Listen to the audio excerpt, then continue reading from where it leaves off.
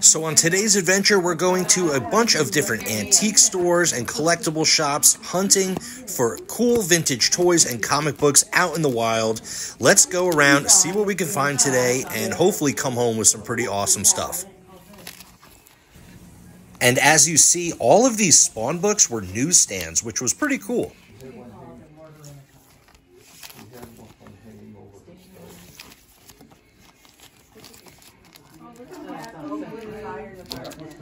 Now that's cool for the firefighter. What's your say, Janine? She turned it the inch.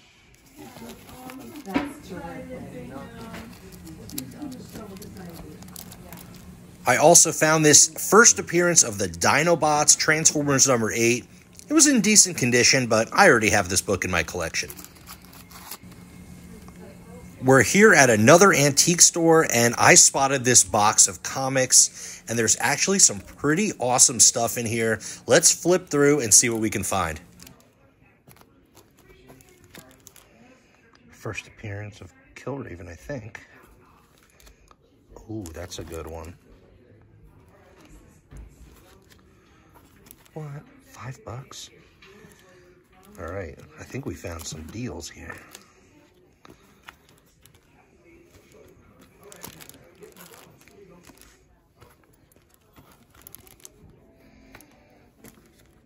I think I have that already.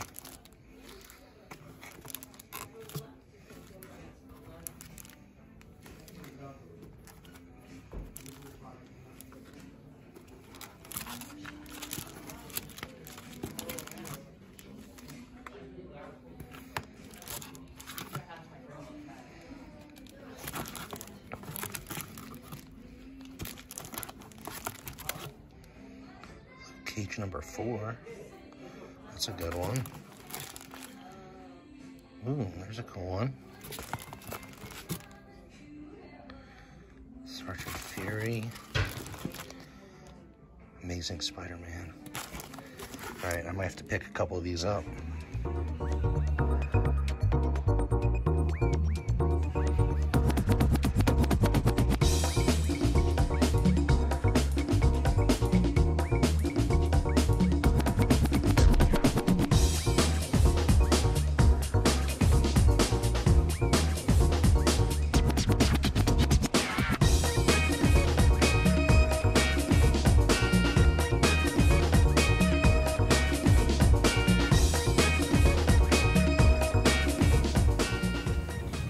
These Star Wars treasuries were pretty cool, but they were 50 bucks a piece.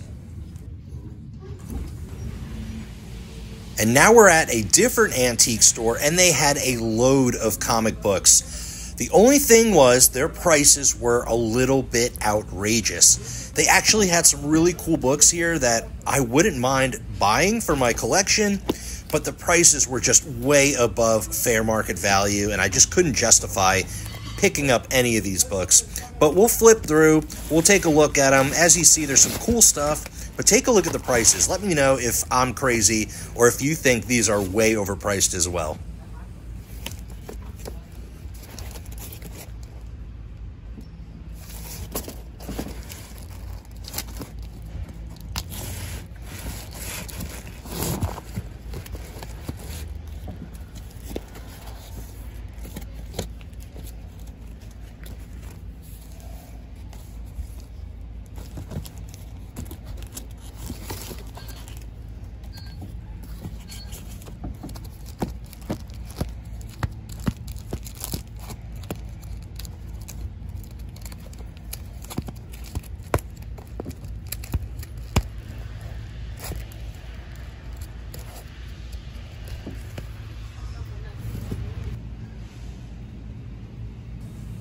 This Black Orchid book was pretty cool. It was priced at only $8, which actually wasn't horrible, uh, but the condition was a little bit rough on that one.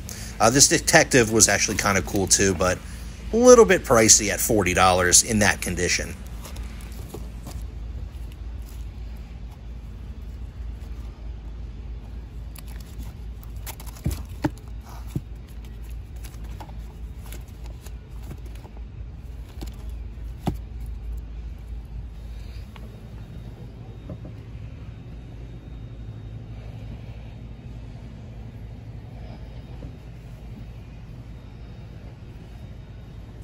As you see, this store had so many comics, but look at the prices. I mean, Power Warlock number six for $25. I mean, there was cool stuff, but I just wish the prices were a little bit more down to earth. Uh, this Lois Lane here, cool book, but, you know, 10 bucks. I mean, I guess, you know, that's not horrible. Um, Web of Spider Man for $25, the first appearance of Tombstone. Uh, this unexpected book, cool cover, but for 20 bucks, I just feel like it's a little pricey. I mean, there was some really cool stuff in here, but condition was bad and prices were high.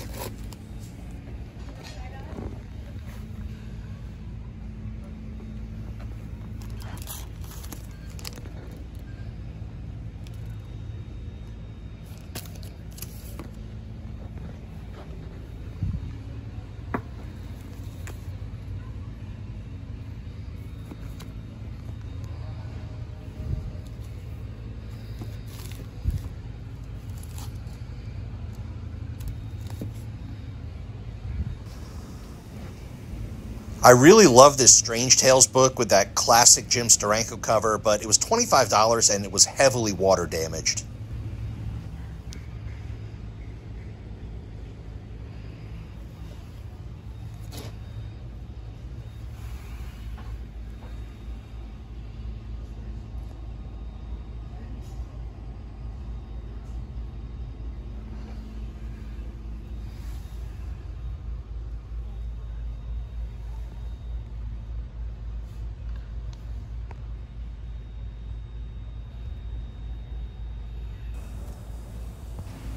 This next stop here was an indoor flea market, and they had a store with a bunch of vintage toys. And they had some pretty awesome stuff up on the wall, like these Kenner alien figures, which I remember getting when I was a kid.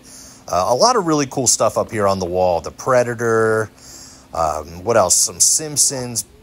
What is this? Toy Story. I mean, all different stuff. This Dick Tracy uh, mint on card was pretty cool. Some pretty nostalgic toys here. It was fun to look through.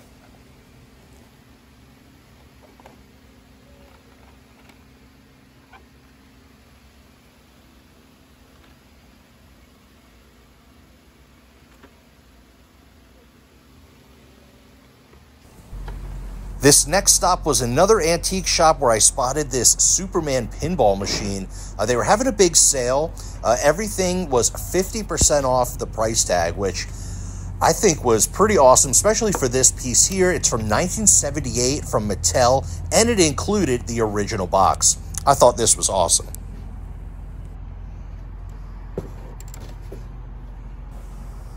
And my last stop for the day was my favorite antique and toy shop, and they had some incredible vintage pieces. So much cool stuff here. All right, so I'm back home now and it's time to check out today's haul from all the different stores that we visited. We went to some antique shops, some collectible stores, some toy stores. I mean, there was a lot of cool stuff to look at and I ended up coming home with some pretty awesome items. First off, you might have seen this in the footage. I ended up buying it. Uh, it was priced at $45, but that store was having a big 50% off sale. Uh, so it would have made it like twenty-two fifty or whatever. Uh, but they actually just gave it to me for $20 even, which was awesome. So for 20 bucks, this is actually complete. It's in the original box. The box is a little rough, but overall doesn't look too bad. Uh, the graphics and everything on the pinball machine look really good. Uh, nothing's broken. All the little balls and pieces are in there. So that was really cool. I couldn't leave it there for just $20. Really happy about that one. From an antique store, I got a couple cool pieces here. I got some Masters of the Universe Hordak posters. Uh, they're like a little comic book here, little comic pages. And then you open it up. See if I could do this two, uh, one-handed. Uh, it is the Secret of the Sword, Masters of the Universe with He-Man and She-Ra and Hordak. I mean, really, really cool. Uh, it's just like a little insert poster from one of the magazines, I think. Uh, but I think it was like 99 cents. Another one here, which I really like the poster on this one. I just had to grab them. They're in rough shape. They got some rips and tears, uh, but I think they'll look pretty cool. So there is this one here. Pretty awesome looking poster. Uh, I love the artwork on this one. Pretty awesome. And of course, Hordak and the Horde. Really, really cool character. Awesome. Uh, so yeah, like 99 cents or something like that. A dollar a piece on these. I also picked up some vintage Halloween decorations. Of course, it's October, spooky season is here, and I love these vintage Halloween decor. Uh, they're little, these little paper, um, things that you hang on the wall or whatever. Uh, this one's really cool with the skeleton and the pumpkin, the little mushrooms. It was like two bucks, so I, I just grabbed them because I thought they were so cool. We got the witch with the jack-o'-lantern. I think it was like two or three dollars a piece on those, as well as the big pumpkin. It's got like a bunch of creases. It's in rough shape, but for a few bucks, I think they'll look great in my collection. Uh, also, a couple larger die-cut ones here. We have the little black kitty with the pumpkin. That one's pretty cool. And then another larger one with the cat and the pumpkin. And there's actually two of those. Pretty cool. And then these two are really awesome. This is a, I think it's like early 90s, maybe late 80s. Um, Halloween Honeycombs by Russ.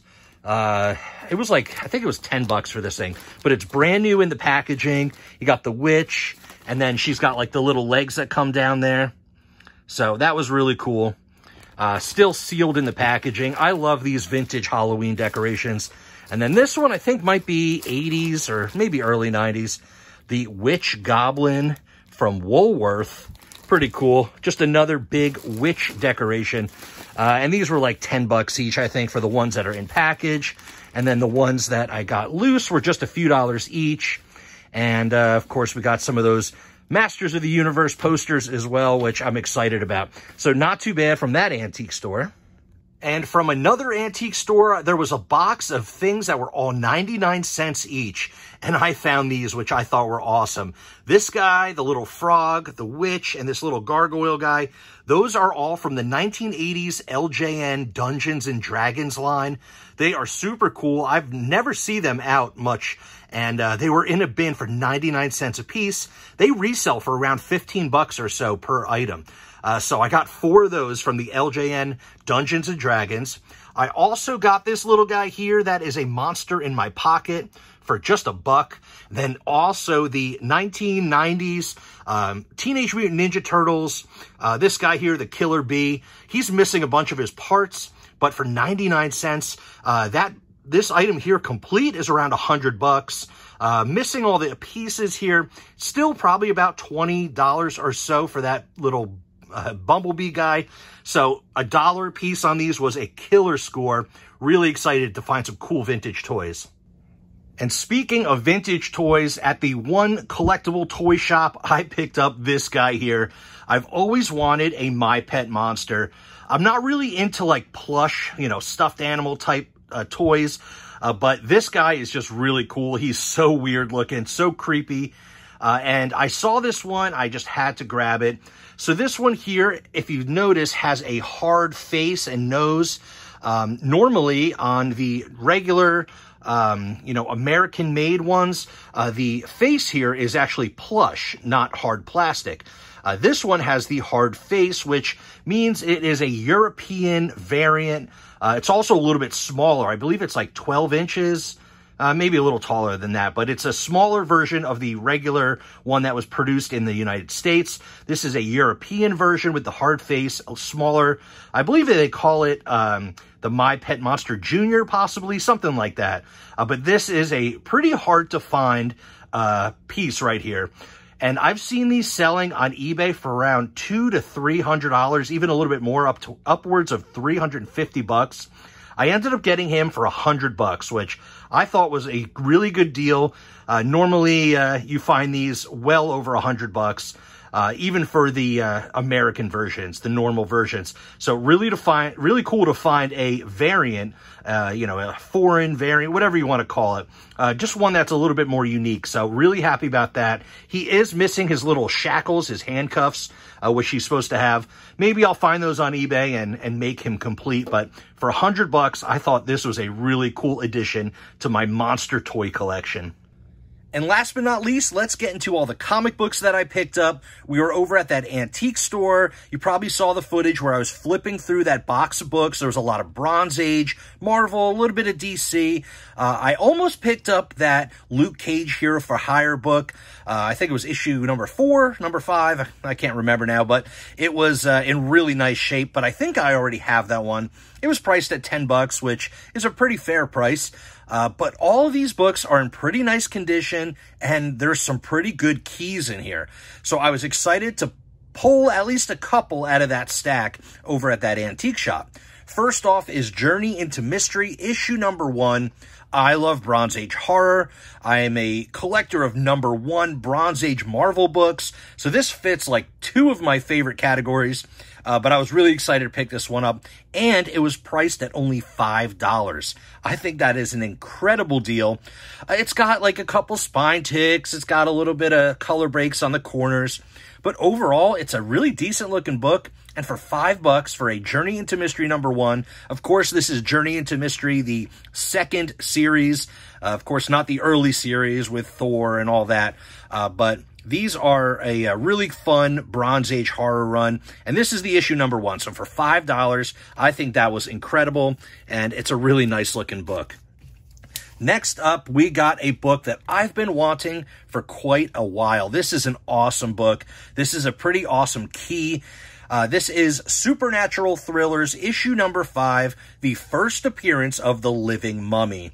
Uh, this book is awesome. I mean, it's got a great cover. I love the yellow background. You got the living mummy up in uh, front and center. He's got with a damsel in distress. I mean, such a cool looking cover.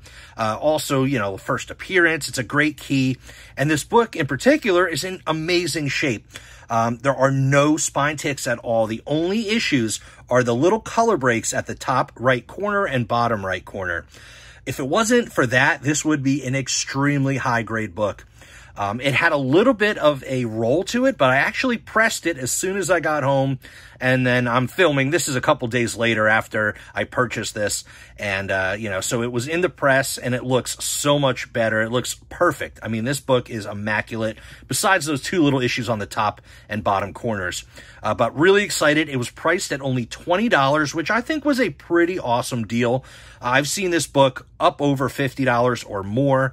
Uh, really, really excited. Happy that it's a nice, uh, nice condition, and I've been wanting this.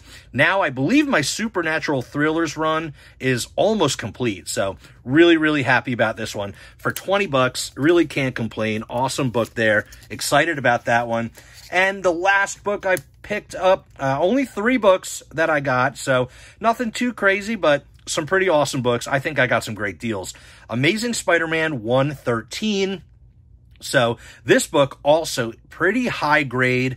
Um, I mean, there's a couple spine ticks down here. Uh, the corners on these ones, there's a little bit of a color rub on that corner. But overall, nice looking book, really cool Romita cover uh, with Spidey and Doc Ock coming out of the uh, Spider-Man mask with the with the newspaper print. I, I just think it's a pretty cool looking cover. But this is also a pretty awesome key because it is the first appearance of Hammerhead uh, you know, the gangster villain. Uh, really, really cool to get a nice little ASM key. Also, it's an early book, Bronze Age, uh, 113, um, 20 cent book. Uh, and this was priced at $20 as well. I think that was a pretty fair price. Uh, I did not have this one in the collection. Uh, I don't really go and buy a lot of Spider-Man uh, unless it's like a cool key and the price is right. So I was happy to pick this one up. Honestly, this might go into my box to uh, resell because, like I said, I'm not a big Spider-Man collector, but uh, I do enjoy the the artwork and the stories, and they're they're cool books. But uh, this one might just go for sale. But still, for twenty bucks, I think it was a pretty good deal. It looks great. It's got a cool cover, and it's the first appearance of a pretty uh, cool uh, Spider-Man villain, uh, Hammerhead. So those are all the comics that I got. Can't complain. Some Spidey, some Bronze Age horror, first appearance of Living Mummy. I mean, some really cool stuff here. So that's the video for today. I hope you enjoyed coming along with me to some cool antique shops, collectible shops, toy stores, and uh, all over the place hunting for cool stuff out in the wild. Uh, thanks for watching today. Don't forget to smash that like button, subscribe to the channel, ring the notification bell, and as always, I'll see you on the next one.